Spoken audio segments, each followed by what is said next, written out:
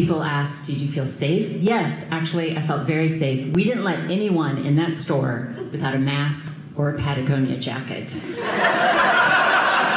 Yeah, we have standards. We take that Columbia coat and get a chili dog at Circle K. Good day, sir.